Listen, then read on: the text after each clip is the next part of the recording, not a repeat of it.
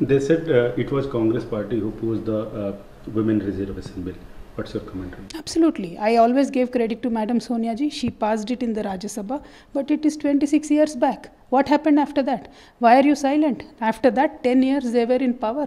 Why did they not push for it and get it passed in Lok Sabha? After that, 10 years Modi ji is in power. Why did you not care to question Modi ji on this? Very recently, Madam Sonia ji wrote to Honorable Prime Minister for the special session of the Parliament. There she talked about nine issues, but she did not mention about the Women's Reservation Bill. My question is you're not consistent on questioning these issues.